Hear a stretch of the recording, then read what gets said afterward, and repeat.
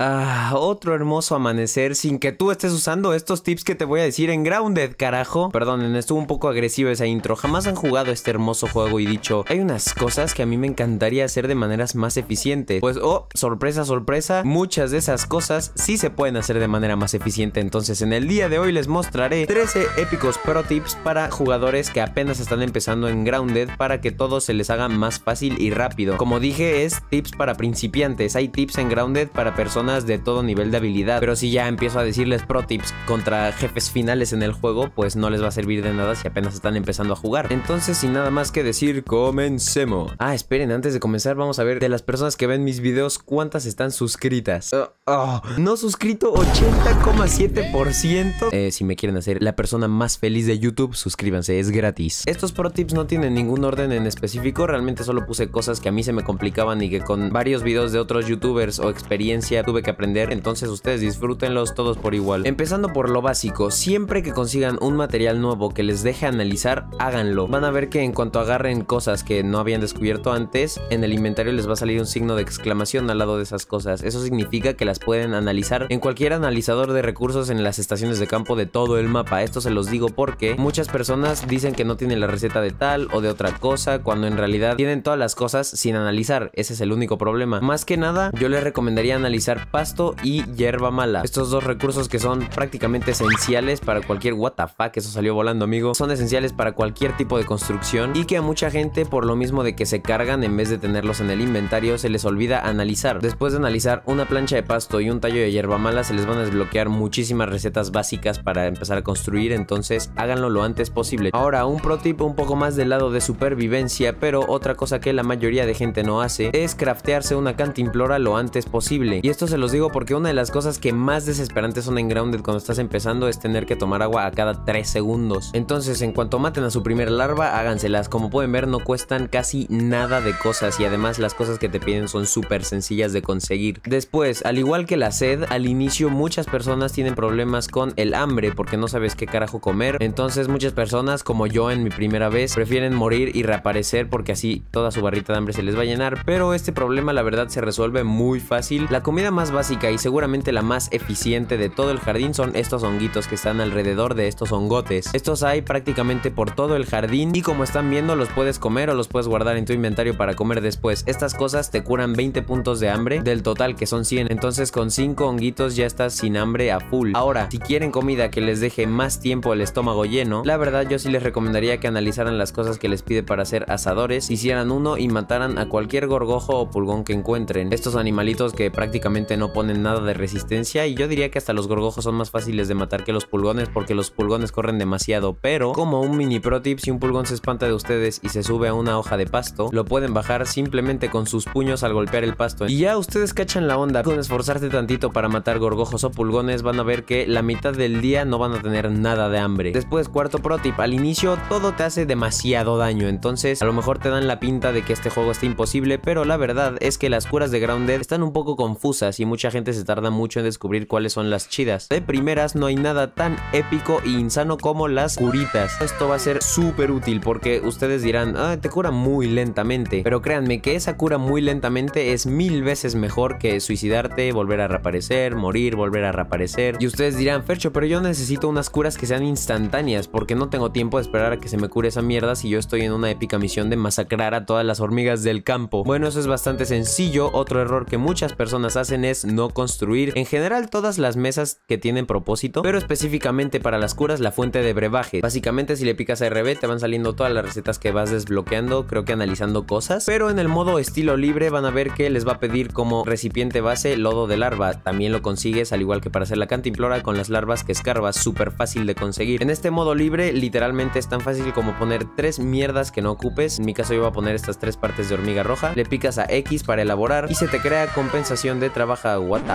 fuck? Oh, amigo. no me acordaba que esos eran los ingredientes para hacer algo que sí tenía receta. Ay, qué maldito fucking fail. Bueno, intentemos eso de nuevo, ¿no?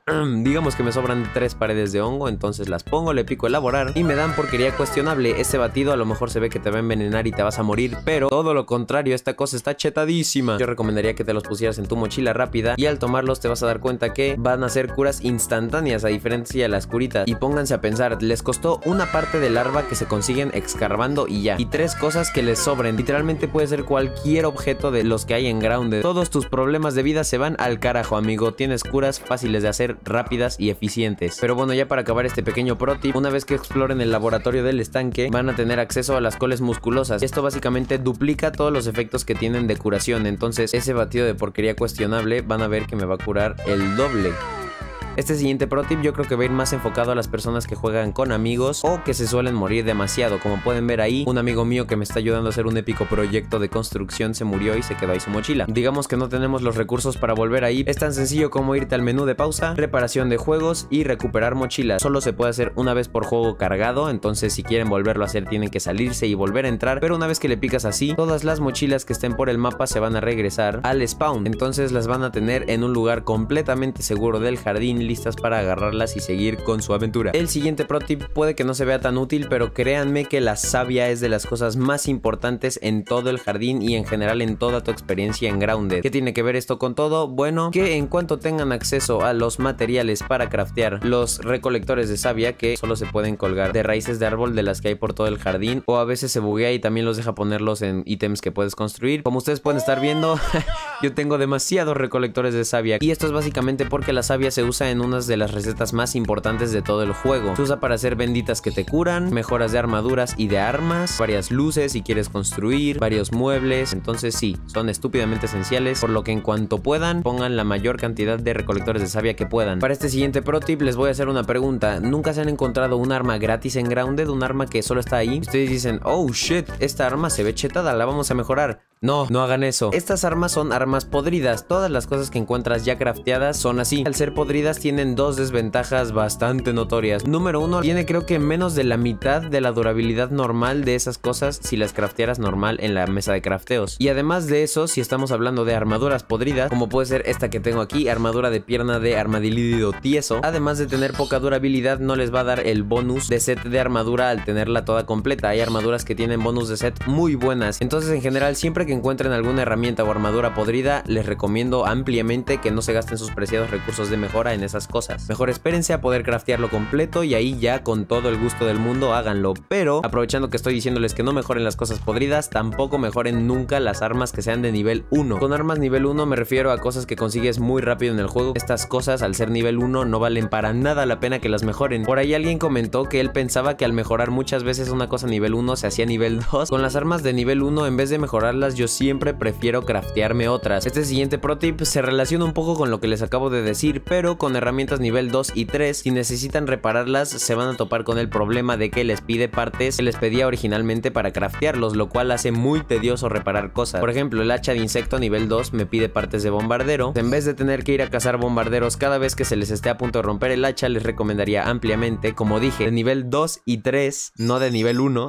mejorar sus cosas en la estación de herrería. ¿Por qué? Porque les pide como uno o dos pedazos de cuarcita a que tengan que ir a matar el insecto que les pide para repararlo. El siguiente pro tip les va a ahorrar muchísimos materiales a la hora de hacer cuerda natural y piel de mora porque como ustedes sabrán estas dos cosas en la mesa de crafteos normal les pide tres pedazos de fibra verde en el caso de la cuerda natural y pedazos de mora en el caso de la piel de mora para hacer solo uno de esos lo cual es estúpidamente bajo en comparación. Bueno pues déjame decirte que eso es problema del pasado porque la primera estación de crafteo era esta base para secar carne. El nombre la verdad es que no es muy útil porque como dice secar carne uno asume que solo sirve para eso pero como pueden ver también sirve para poner los pedazos de mora. Pasado un tiempo te va a dar uno de piel de mora por cada pedazo. La verdad es de las cosas más útiles de todo el juego. La única desventaja, por así decirlo, es que se tarda muchísimo más. Se tarda casi un día completo en secar todas estas cosas. Con la cuerda natural es lo mismo, pero en vez de ser en la base para secar carne, es en las ruedas de hilar. Como pueden ver, aquí se abre un mini menú de las cuerdas que te deja hacer. Y uno de fibra vegetal se convierte en uno de cuerda natural. Este es muchísimo más eficiente que la base para secar carne porque no se tarda casi todo un día y te deja poner de 5 en 5. Ustedes entienden mucha más eficiencia, chavales. El siguiente pro tip tiene que ver con transportar las cosas que hay adentro de un cofre o adentro de un almacén de pasto o tallos de hierba mala. Mucha gente al estar construyendo suele cargar todos los que les deja. Digamos que yo estoy construyendo algo aquí y los pongo acá para después construirlo. Esta es la manera menos eficiente posible en todo el juego para transportar cosas. Porque, por ejemplo, con los almacenes puedes llenarte las manos con la cantidad que te deje cargar y además con la opción de reubicar que están viendo, lo agarran y se pueden ir corriendo hacia el lado que tenga que construir para después ponerlo y van a ver que te va a transportar con todos los pastos o tallos de hierba mala. Entonces así no vas a tener que estar haciendo 27 mil viajes por almacén, simplemente lo reubicas con la opción. Con los cofres es prácticamente lo mismo, digamos que yo tengo que transportar estos dos, pues puedo agarrar el que tengo de fibra, como todo lo que quepa en mi inventario y luego también tengo que transportar el de savia, entonces le pico a reubicar y me llevo todas las cosas en mi inventario y además me llevo el plano del cofre para que cuando se vuelva a poner estén todas las sabias aún dentro. Vamos con el siguiente tip que también es muy bueno para eficientar tu construcción y me refiero a poner planos encima de cosas que ya existen en vez de tener que destruir este piso y una vez que esté destruido poner el otro plano, el juego como pueden ver les deja poner el plano directamente en ese piso. Esto les ahorra un chingo de tiempo de cosas rotas y muchos fails de construcción de que sin querer tiran toda su maldita casa. Se va a destruir el piso que había antes y así todo lo que está manteniéndose en eso no se va a romper. El siguiente tip es para todas esas personas que siempre que van de exploración traen mil y un cosas distintas, pues en vez de tener que abrir cofre por cofre depositando cada cosa en cada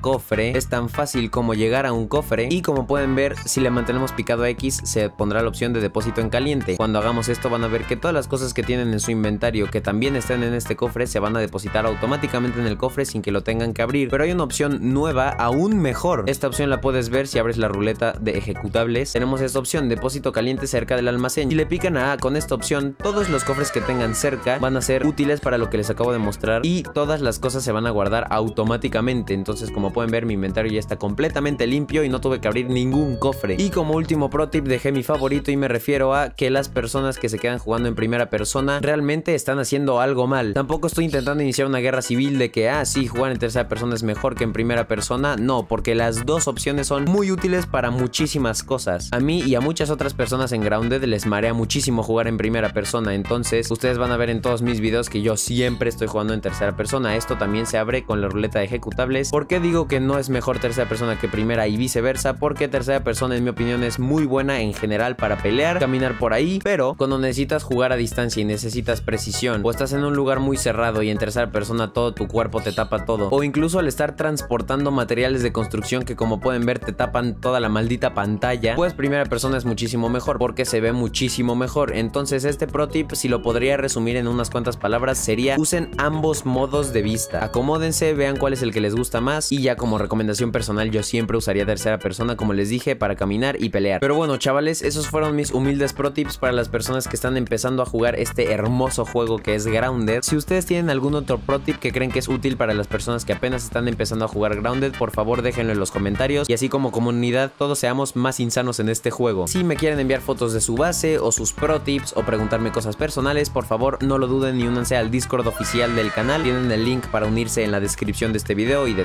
mis otros videos. Pero bueno chavales, les mostraría esto sin censura, pero me parece que este video de estas construcciones insanas lo voy a subir en alguna otra ocasión. Solo les diré que espérenlo. Está muy insano, está demasiado insano. Nos vemos, chavalines de YouTube. ¿Alguna vez te has preguntado cómo carajo pasarse Grounded? Esta es una pregunta bastante abierta, pero me refiero más específicamente a qué hacer en qué orden. Porque en este juego sales aquí, caminas acá, haces esta misión